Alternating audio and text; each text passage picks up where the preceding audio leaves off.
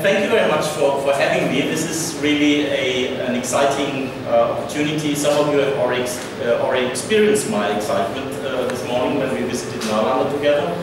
Um, uh, and this, of course, is because of the relation which my hero, in inverted commas, you will see why in inverted commas, has with uh, a lot of places here in, in Bihar, in, in, in the area. So I'm, I'm, very happy and also very proud, actually, be uh, able to present here. So thanks to Anjana and all the rest of you for inviting me. Um, so yeah, I'm, i mean, I probably don't have to justify why I'm uh, talking about Xuanzang in, uh, in this area here.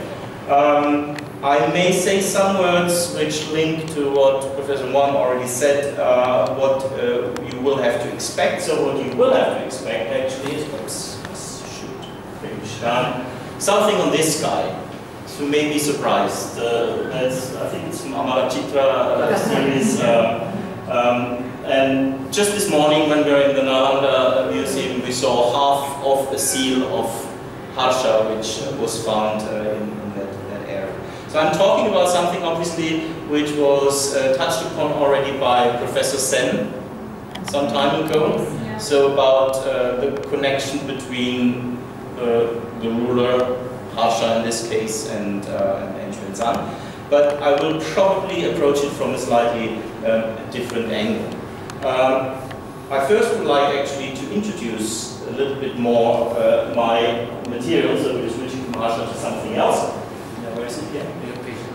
Uh, so that's the area, so you see you are included here uh, in Harsha's empire, so we are still talking about something which is at least topographically, geographically very close to us here. Uh, this I can't show you, now this is scrolling yeah, this is it. This I can show you, but if you like, this is a kind of uh, um, YouTube version of, of, of Harsha and uh, his uh, in, involvement with Buddhism. Um, this is our hero, a statue of Xuanzang in front of the so-called Great Goose Pagoda, the Dayan Ta in Xi'an, in uh, former Tang, uh, Chinese capital of Chang'an. Very famous tourist site. We saw something very similar this morning, uh, a little bit in the afternoon, early afternoon uh, very close to here, Xuanzang. This one is more realistic, by the way, than the one you will see in the Xuanzang Memorial uh, Hall.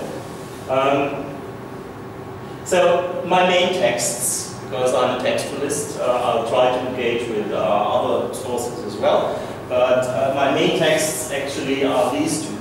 Uh, one is the famous record of the western region of the Great Tang, the Da Tang Xi Qi, um, allegedly written by Xuanzang uh, with cooperation with a monk from his uh, translation team, Bianji.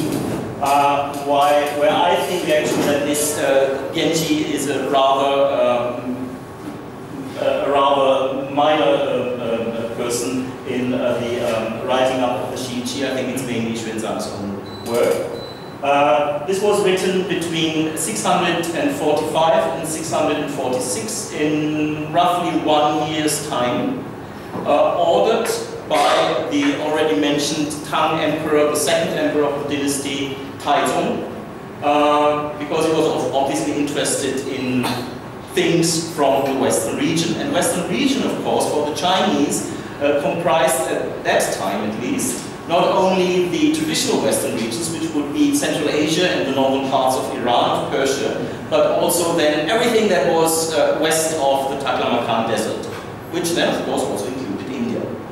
So South Asia was included. So it is the record of that very wide uh, region.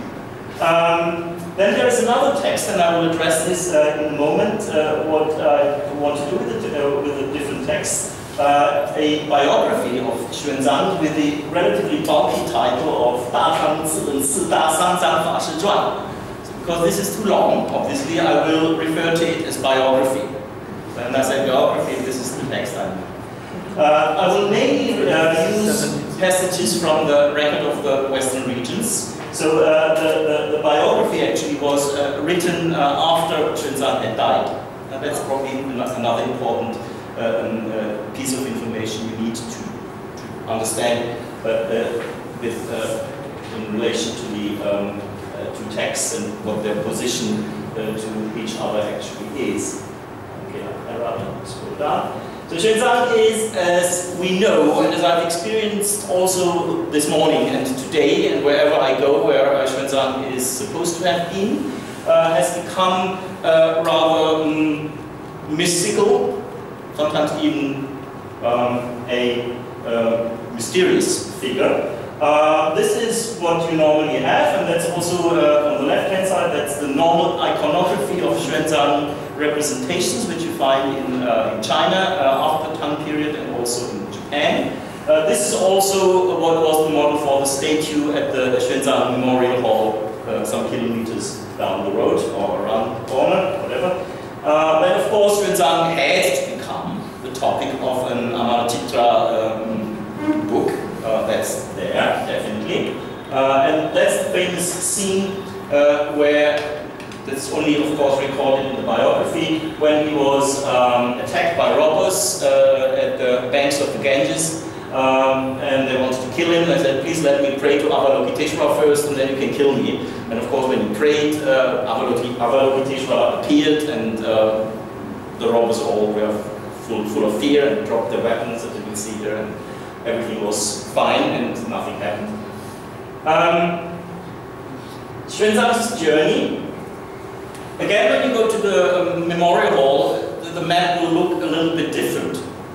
So if I would actually uh, be forced to draw a map of the journeys, would still look a little bit different. But uh, for the time being, just accept this. So what you can see is that he came from, uh, that, you can't see actually, because it's, uh, it's on, on, the upper part of, uh, of, the slide, it should be. He, he came through the uh, northern Silk Road, and then via a kind of detour uh, around, crossing the so-called uh, Tian Shan.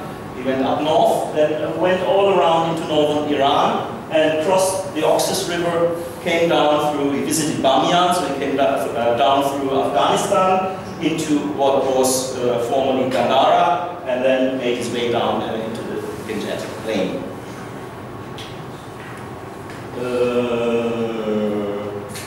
His record, actually, was very influential uh, in East Asian uh, culture, in Japan, Korea, and in, uh, in China, of course. Uh, and as a proof for that, I just want, wanted to show you a, uh, a map, a world map, as it were, from uh, the uh, Gotenjiku, uh, the so-called Gotenjiku Zu, so the, the map of five India, that was the, uh, the Chinese term for it, so it's reflecting, of course, the, the, the, the, uh, five uh, Janapadas. Uh, and that became the term of India. And this is from the Horyuji in Nara, roughly in the 14th century, a world map, which was actually it became the standard world map for a very, very long time, even into modernity in Japan. Uh, after the Meiji uh, revolution, they were still using these maps, just kind of uh, changing them a little bit, because of course they got new geographical knowledge. So this would be 14th century, where you have the, um, well, that's Jambudvipa, obviously, so the, the triangle. Um, then you have, uh, very interestingly, not what you would expect according to Buddhist uh, cosmology, Mount Meru somewhere in the middle, and then the rest kind of uh, arranged around it. Mount Meru is somewhere up here and the four rivers coming from Mount Meru are actually then flowing to different directions. Of course, the most important one they come down here through, through India. So what you have here is, uh, you still have the cosmological scheme, the old Buddhist one, but the whole thing was overridden by Xuanzang's uh, geography, which he gave because the whole rest is populated by places that are found in the record of the Western region. And interestingly, uh, in 19th uh, century maps from Japan, this is still kept. What they are adding then is to some extent, by the way, up here is somewhere China, so very small, and that's originally a, a Chinese map, of course. Uh, and later on they added then America somewhere here, so when they actually uh, ex expanded their uh, topographical knowledge, they were still keeping it for a very long time, the Buddhist geographers at least, and then added it up. So a little bit about the influence that Xuanzang had on Asian knowledge in general. In the West, Xuanzang was discovered in, this, in the first half of the 19th century, and that was, you have to imagine, exactly the time when the British started to understand a little bit more about Indian history. So uh, when they um, uh, skimmed through the texts, for instance, uh, through the Puranas, and were looking for history, what they found, of course, was what they call fantasy. So they were not very happy with that. Uh, information about medieval India, about ancient India, actually came from the, the, the information they wanted, historical information, positivistic uh, historical information came from a completely different angle. And these were the Chinese so-called uh, pilgrimage records, or travel logs, as I normally call them. And it was not interestingly Xuanzang who was discovered first. It was Faxian. So that was the text, uh, Professor Wang mentioned that I was working uh, on first, because it's much shorter than, than, than Xuanzang. Uh, so that text was discovered first. Uh, was discovered uh, roughly uh, two uh, decades later and also respectively translated later. And the first translations available for Westerners were actually French translations because French sinology was much stronger than uh, the British or also the, the German one. So you can see here the translation history, as it were. It started in 1843, and this is only Xuanzang, this is not uh, the others, Faxian is earlier. It started in 1843 by Stanislas Julien, the first and the second uh, sinologist uh, at uh, the University of Paris, uh, with the life, the biography of Xuanzang. Then 1857-58, uh, the records of the Western region in two volumes. And then it lasted quite a while until 1884. Samuel Beal was translating uh, the text again into English. Uh, and he translated actually all three major pilgrimage records, the one by Faxian, another one by a, a, pilgrim of the early 6th century, Songyun, and uh, also the records of the western region. Since then, that's important probably, uh, this was the main point of reference. So people are still nowadays using, I will not uh, look for people who are still doing it or have done it, they're still using uh, Samuel Beal's translation from 1884. And I don't have to emphasize that, of course, this translation is antiquated. It needs, uh, we need a new translation. I'm doing one. Um, and also uh, a commentary, a solid commentary, because without a commentary, it's very difficult to use this text, or all these kind of travelogues.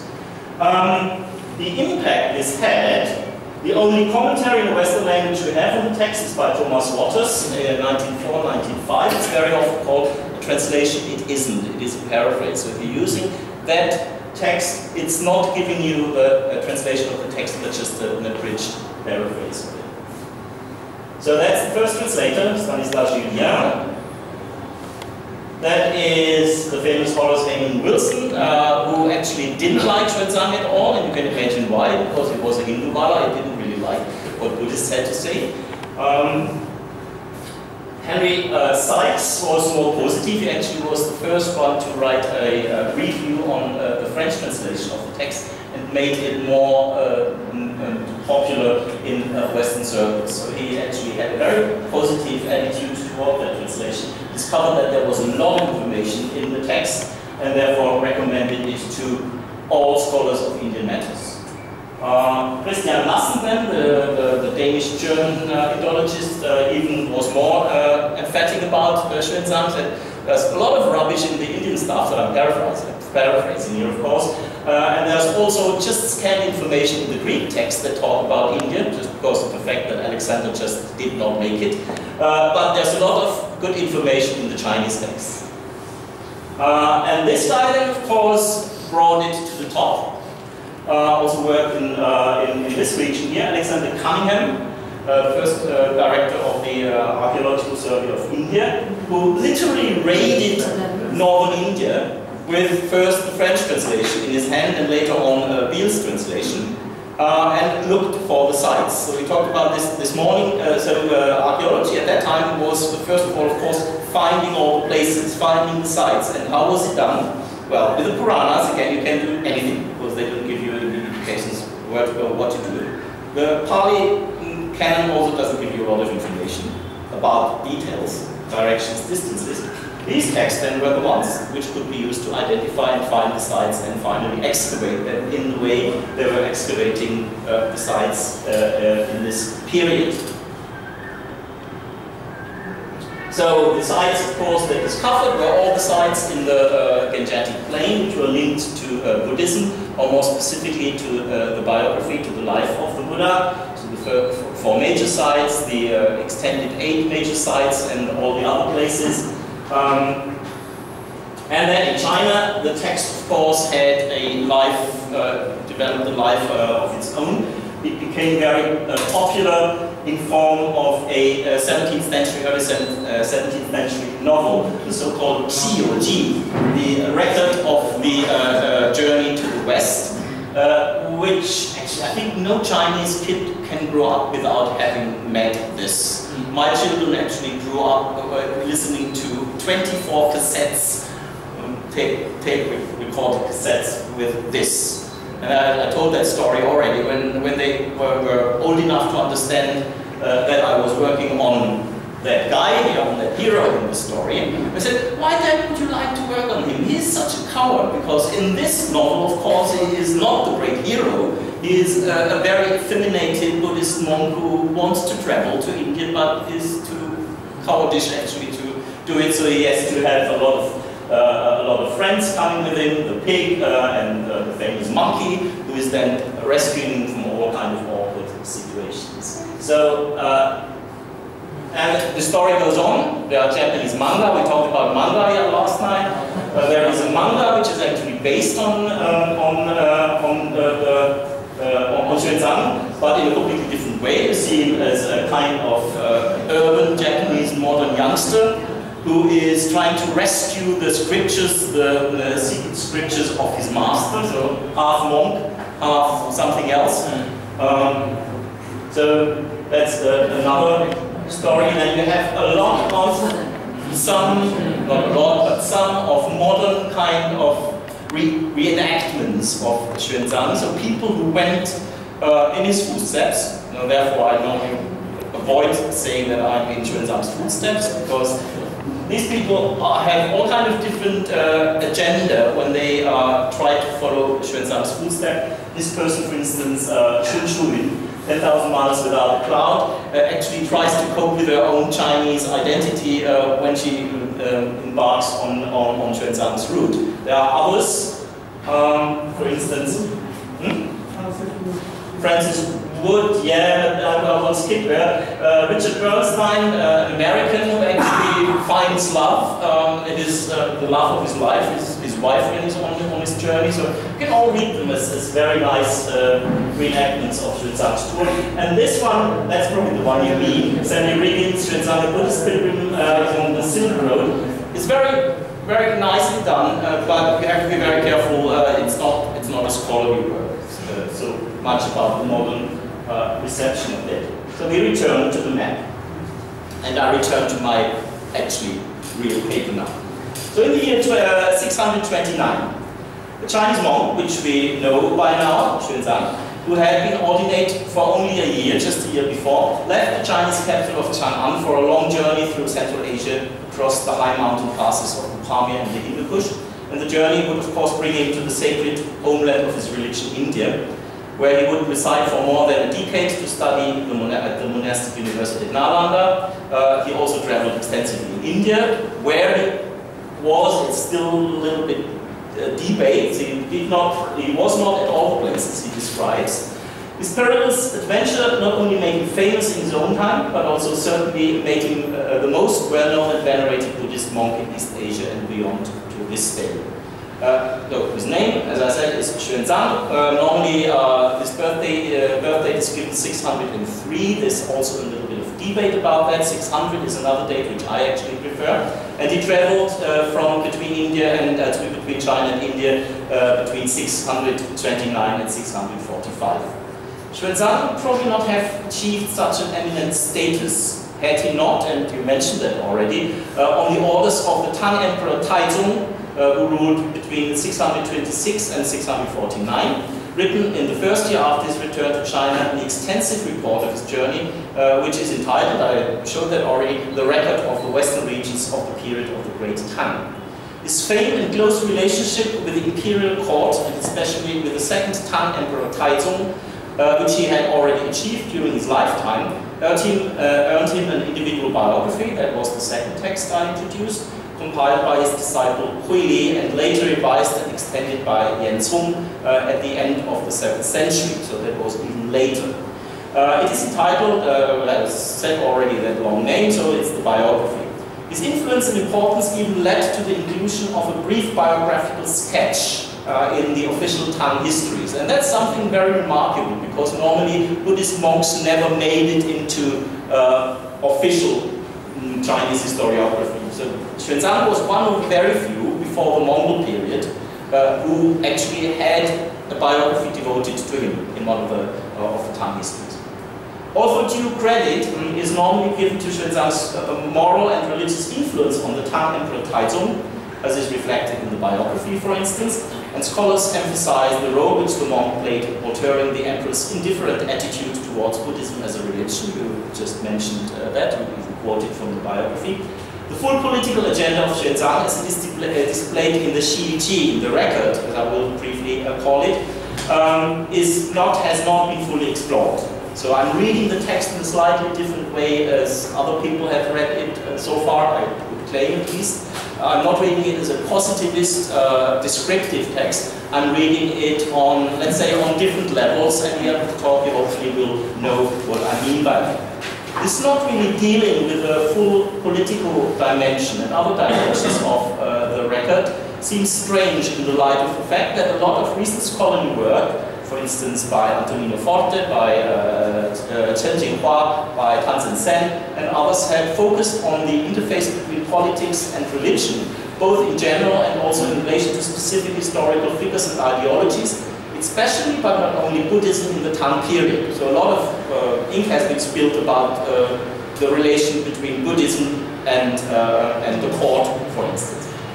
But so far, the pivotal figure of Xuanzang in his role as a political agent in the early Tang period seems to have slipped through Indra's net, as I would like to put it into a, a Buddhist metaphor, of scho uh, scholarly investigation. In fact, Xuanzang's roles as translator, commentator, and philosopher, even as a founder of a rather short-lived Buddhist school, the Fa Xiang Zong, have received more attention than his role as an advisor and an educator, especially of the, uh, of the emperor. These last two roles, so advisor and uh, educator, are those that will uh, detain us now by means of the close reading of selected passages from uh, the record. Before I turn to this analysis, at least some of, of, of the uh, points, it is worth spending a little more time in considering the patterns of reception and misinterpretation of Xuanzang's work in scholarly discourse. I've already mentioned that or indicated that before, but I now would like to go a little bit more into details.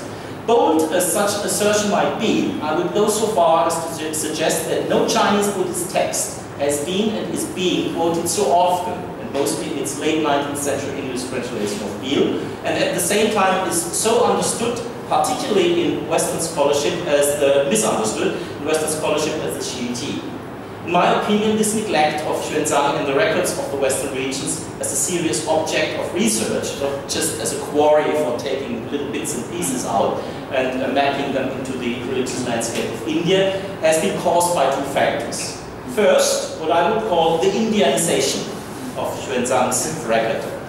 By this I refer to the way that the record is approached as a text that mainly describes matters Indian, rather than as a text that should be read and understood, and this is very important now, in the first instance in its Chinese historical context. It is a Chinese text, written for a Chinese audience, we even know for whom it was written, so why not reading it in that context? This is also the very reason, in my eyes, that the record has been used and misused since its first uh, uh, was since its first was translated into Western languages, as we've seen first into French and later into English, as a tool for reconstructing Indian history without, in most cases, consulting, analyzing, and contextualizing the original Chinese text. So all made on the basis of the late 19th century translation. This would be, just to bring you an example, uh, akin to Marco Polo's Il Milione, the famous description of Marco Polo, being used as the main source for the reconstruction of the history of Mongol China, of Yuan China, under Kublai Khan, without taking into account the circumstance of the text's production in Italy, and wider historical context, which is, of course, more medieval Europe than Mongol China and Asia. So that was the first point, Indianization. Second point is the uh, conflation of the record, the Xiyu ji, and the biography, as that long title, as historical sources. This goes hand in hand with the tendency to let the highly uh, hagiographical uh, biography, so it's Xuanzang as a saint, not as a real person, dominate interpretation of the record of the Xiyu ji. This is because, of course, of the letters of the Shiutis, lack of narrative elements. There is nothing like, like a story that Xuanzang goes to me and that and does this and does that. It's just one place after the other. So looking for a narrative actually led to this kind of entangling of the two texts.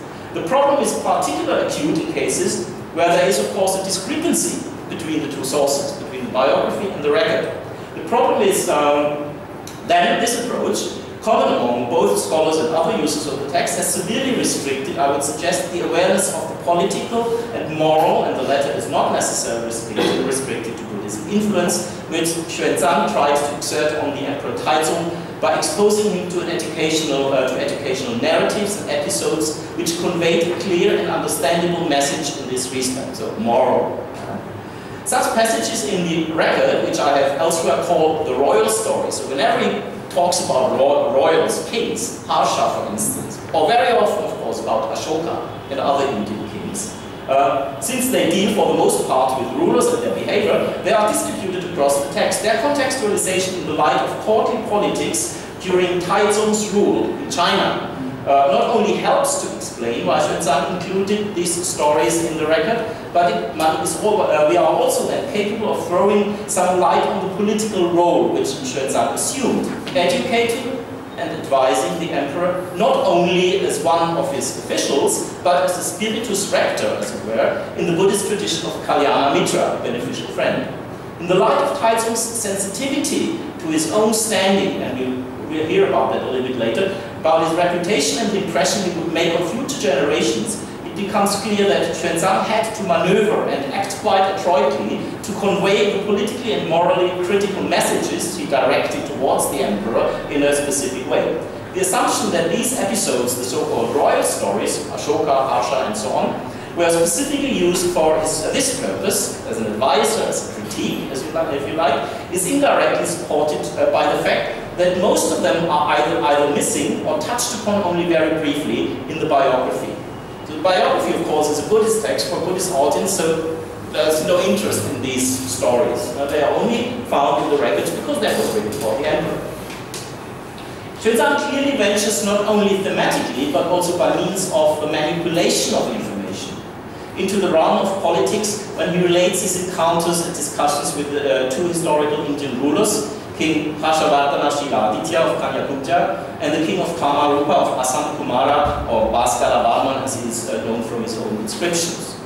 I've argued elsewhere that the uh, report of these encounters was supposed to suggest an alliance between India and China, which does not seem to be too far-fetched in the light of the embassies going forth and back between China and India in the years of Xuanzang's stay in India and afterwards, which included the ambassadors Wang Xuance's mission to, missions to India uh, and the death of both Taizong in the year 649 and Harsha two years before in 647. So this paper will concentrate on Xuanzang's, now I have to scroll again, uh, on Xuanzang's description of the Pushpabhuti king Harshavardhana Shiladitya, briefly called Harsha, and I'll use Harsha shorter, and his early career. So the dynastic lineage, the ascension to the, ascension to the throne, the pacification of the realm, in comparison with the Indian sources and the implications that this has for the underlying motives and the political agenda of Xuanzang's description of the Indian ruler and his dynasty. I'm arguing, uh, I'm arguing that the Indian king is portrayed not as a historical person, but as an idealized Buddhist ruler as I've already argued elsewhere, as a speculum, a mirror that is held in front of his own emperor Taizong. This is how a good Buddhist king actually acts. There's some, uh, thus something of an educational program in the records uh, which seeks to show the Chinese emperor the behavior of an ideal Buddhist ruler, and that's of course in this case Harsha. Now Harsha is of course actually one of the few Indian kings in uh, medieval in Indian, uh, early medieval history about whom we have quite a wealth of information from the Indian side. So much more than about, uh, about most other rulers. We have six of Harsha's inscriptions, from which we get in the st standard formulaic fashion of the epigraphical record information about dynastic self-perception and the religious inclination of the different Pushpabhuti rulers. These inscriptions are first the Sonipat copper seal inscription, I think they are all listed here. Um, uh, the uh, Banskhera plate inscription dated to the year 22, that translates into 628. Uh, the copper plate inscription from the area around Thanesar, which becomes very important later on, year 23, 629. The Madhuban copper plate inscription from the year 25, that is 631. The Nalanda seal inscription, probably the one we saw. Uh, and uh, number 5, the copper plate inscription from Nabha in the Punjab, year 8, uh, that is 614. That's how it was read, but it's probably later, it's probably year 33 rather, that is 639. So very late in Harsha's rule. Harsha is also mentioned, of course, in other inscriptions uh, at the same time by of other rulers. For instance, the Aihole inscription of the Chalukya king Pulakeshin II from 634-35. The Aphsad inscription of Aditya Sena in the Gurjara copper plate crown of Jayabhata from Navsari. So he's referred to in, in other, uh, from other directions as well. So these are the inscriptions from which we get quite some good idea how the dynasty itself actually portrayed itself. Uh, three Sanskrit plays, uh, now I have to scroll again. Attributed to Harsha, I'm saying attributed because I would not uh, claim in all cases that the place were from, uh, from by Harsha. the Ratnavali, the Priyadarshika, and probably the most famous one, the Nagananda. And the Nagananda probably is the one that can claim best uh, Harsha's authorship because of particular features. A particular feature of the Nagananda is that its second part presents a Buddhist theme. It's the story of the Naga prince Jimutavahana who sacrifices himself like a bodhisattva in the numerous Jatakas instead of another Naga to the snake-devouring mythical bird Garuda. The king's authorship of Nagananda and his interest in Buddhist lit literary matters is supported, by the way, by a passage in another uh, Chinese uh, record, I Ching's record of the inner law sent back from the southern sea. He quotes, uh, well, he actually emphasizes that there was a king Harsha, a little bit, Harsha had been dead for about 50 years, but he emphasizes that there has been recently a king Harsha who has uh, written a play called uh, Nagananda. And then, of course, we have, uh, last but not least, uh, the Sanskrit prose biography uh, of Harsha by his poeta laureatus Bana, the Harsha Charita, the deeds of Harsha, or biography of Harsha, in which, uh, uh, in which the period of Harsha's ascension to the throne and the events and campaigns that follow are described quite in detail. Of course, in a very specific way, in a, in a, very uh, poetical way, but still we get some information from there. While Bana himself was a Shaiva, the Harsha Charita does, however, contain numerous references to Buddhism, especially in the last part. Bana is also the only source that mentions Harsha's dynastically eponymous ancestor Pushpabhuti. It's never found in the inscriptions themselves. Uh, that comes from, from the Harsha Charita. The evidence is thus more extensive than anything we have about any Indian ruler until the Mughal period, and such a pool of information creates, of course, a solid basis for comparison with the facts and events given by Xuanzang about Harsha in the record. It also confronts us with some discrepancies and differences in the two strands of sources, the Chinese, Xuanzang mainly, and the South Asian or Indian ones. Generally speaking, the Indian sources, the inscriptions and Harsha's biography, are more in accordance with each other. That is quite, uh, of course, uh, striking. While Xuanzang's description, while containing information compatible with the former sources, seems to emphasize, least as is to expect, the Buddhist aspect, but also other aspects that call for explanation and interpretation. To highlight the selective and intentionally motivated method which Xuanzang applies when he describes Harsha and his reign, uh, it may be appropriate to start with what the Xi the records, uh, does not mention about Harsha and his dynasty, but which Xuanzang must definitely have known. The original territory of Harsha's Pushpabhuti dynasty is, let's empire again, Stanishvara, Stanishvara or Stanishvara, up here. Here's Kannauj, where the, the, the, capital was, so that's quite, quite a distance out. So here again, Stanishvara or Kurukshetra. Um, also, uh, uh, also uh, Stanishvara is mentioned in the Xiyu ji, so it doesn't skip over it, he mentions it. Um, it is not linked to the royal dynasty at all. Stanishvara as the homeland of the dynasty and Harsha is, however, eulogized of course in, in Bana's biography. The original form of the name seems to have been Stanishvara, but Bana uses the form Stanishvara, which may have been the result of a strong Shaiva emphasis under Harsha's reign in general. Um, and that comes through the, through the um, uh, own inscriptions as well, because he calls himself a, uh, a Shaiva.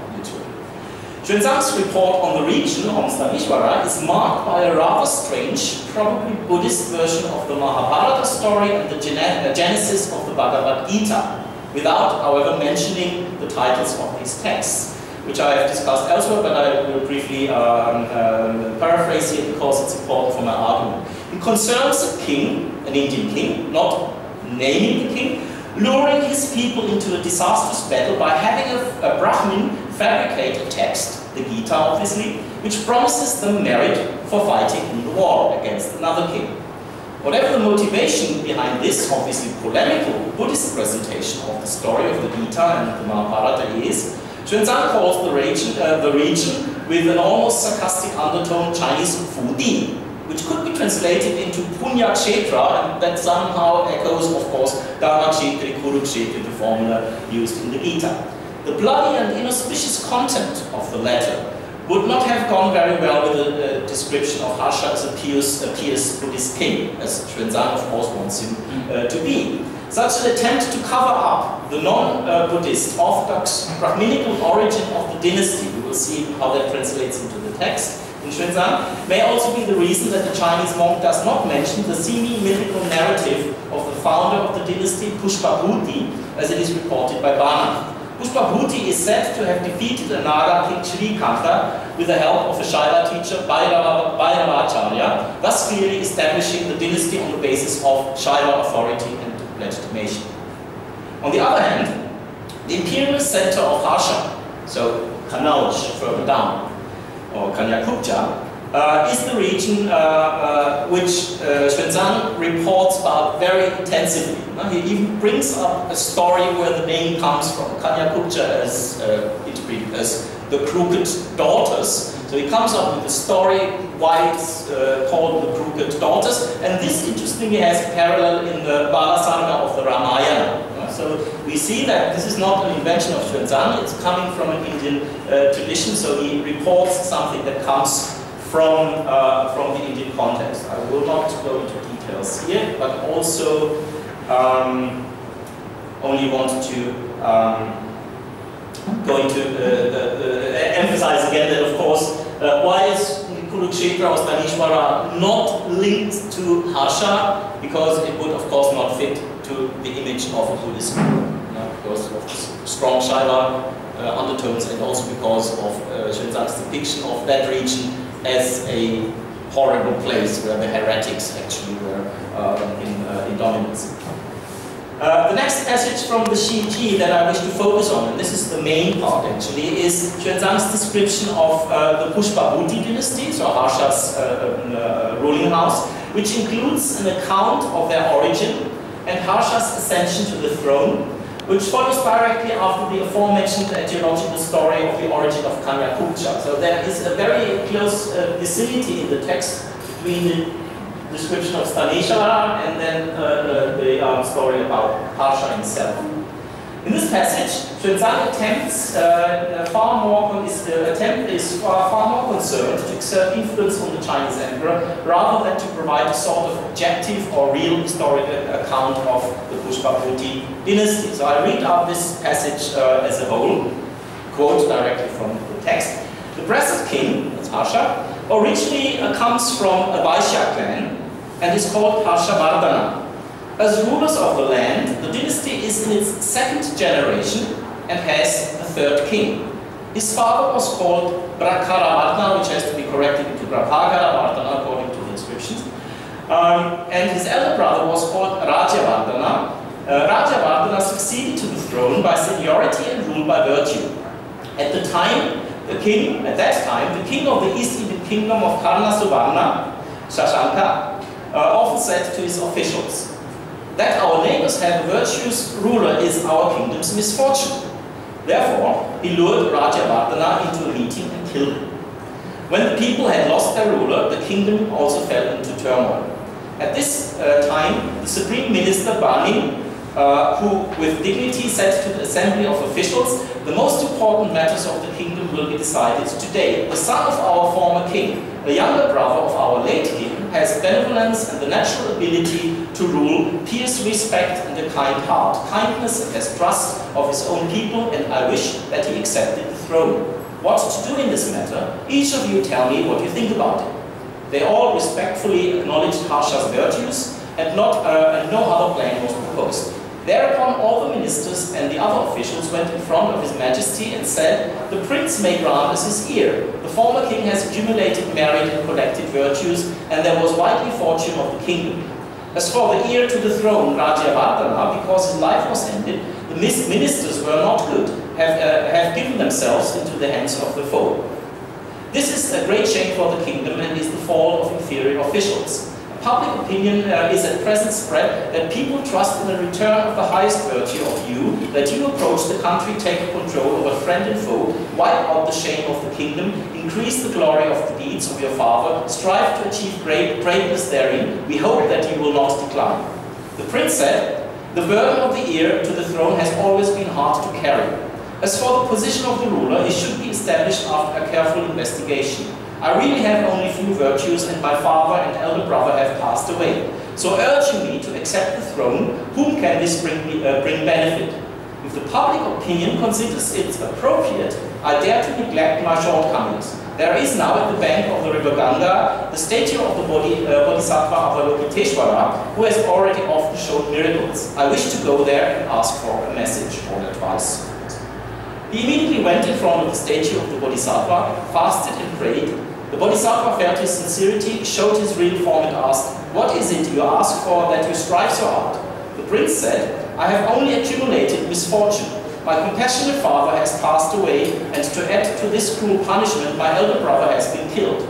I myself, however, have only a few virtues, but the people of the kingdom uh, hold me in high esteem and are trying to cause me to accept the throne and to increase the glory of my father. Being stupid and ignorant, I dare to hope for your holy instruction. The Bodhisattva told him, In a former existence, you were a forest monk in these woods and persevered in your efforts. Through the power of these merits, you became this prince you are now. Since the king of the kingdom uh, Shashanka has destroyed the Dharma of the Buddha, you must accept the throne, and it is appropriate for you to cause it to prosper again. Compassion should be your will, and mercy may be your feelings. Before long, you will rule over the territory of the five Indias.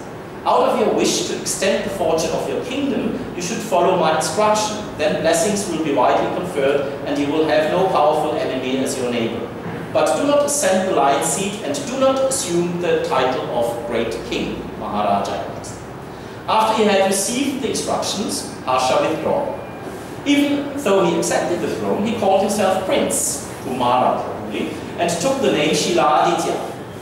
Then he said to his officials, as long as the foes of my elder brother have not been punished and the neighboring kings have not rendered me due respect, I will not use my right hand to eat food. Well, how would you eat that?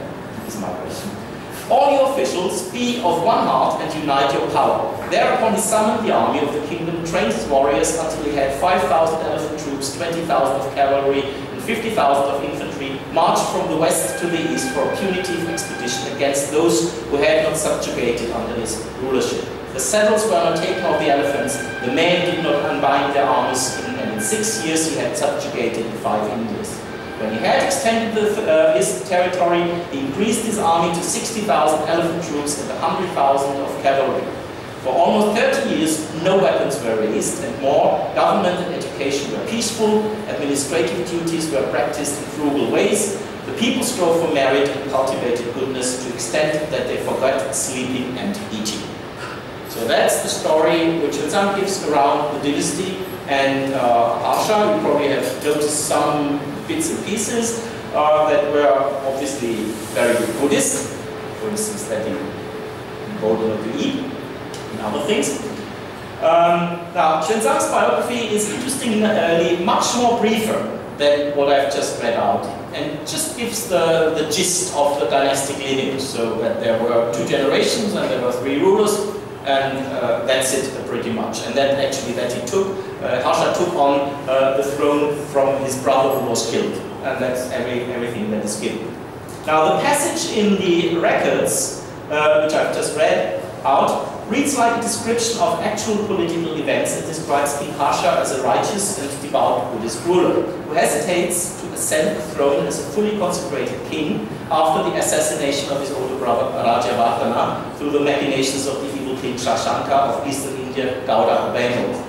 If we take into account the Indian sources avail available from and about the period of uh, Harshavardhana, or uh, as uh, they are also called in the Banas record, the Pushpabhuti dynasty, we find, however, some serious differences from the information given by Xuanzang, and this discrepancy, of course, begs for answers more insightful than simply claiming, as many scholars working with the Indian material used to claim, that Xuanzang got it wrong. Uh, it's a little bit too, too easy. Xuanzang states, let us remember, that the rulers originally come from a Vaishya background.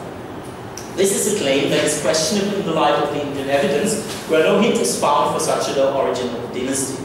The proponents of the Vaishya origin of the Pushpabhuti dynasty, scholars, normally refer to Xuanzang and the historical chapter in the voluminous Manjushri Mulakalpa, a Buddhist Sanskrit text from the late 8th or 9th century, Unfortunately, the wider context of both sources is uh, neglected when such a claim is made that Vaishya origin is actually the real origin of uh, the dynasty. It is clear from the general line of the argumentation in the Manjushri Mulakalpa that the text here is referring and following to a theory of decay by which dynasties more distant from the Buddha's lifetime are consequently lowered in social status, that is caste. Until the last dynasty covered, the Bengal royal lineage is made Shudra or even Lepcha. And following this logic, of course, many of the dynasties or royal houses before had to be Vaishya. So because they go through uh, political origin and Kshatriya and, and so on and so forth. So because the Pushpabhuti dynasty was located exactly in that time window where Vaishya rulers were ruling, they had to be Vaishya according to the text. Uh, this pattern of description, however, was certainly not the one Xuanzang had in mind when he ascribed Vaishya descendancy to the uh, dynasty. Furthermore, the lineage of Pushpabhutis in the Manjushri Kalpa is not reliable at all, to come back to this text. It is completely inconsistent, it has uh, start uh, with a completely unknown, otherwise completely unknown, uh, so-called Vishnuvardhana. So that he is not known from the other uh, sources at all. It is highly unlikely that the Pushpabhutis themselves claimed a Vaishya origin. No royal house would do that. Uh, none of Harsha's inscriptions, of course, give a hint in that direction. Uh, the recurrent pattern of their personal names, Vardhana at the end, uh, is not a clear sign of Vaishya origin, as has been claimed by scholars. Otherwise, it should be expected that the eponymous ancestor that had the same name element as well, but his name is given by Bana as Pushpabhuti. And he is described as a valiant and victorious warrior and compared with numerous heroes from the Mahabharata.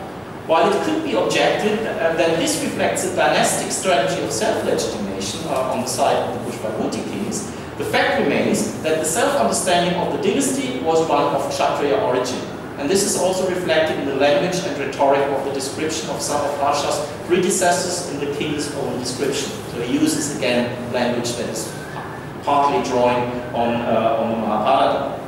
Therefore, Xuanzang must have had a different motivation for assigning the Vaishya origin, different also from the Manjushri Kalpa. And I think that this is an attempt, and here we go into the Chinese context, to put the house of the Chinese emperors, at that time the Tang, on a par with the Indian dynasty in the following way. In the following way.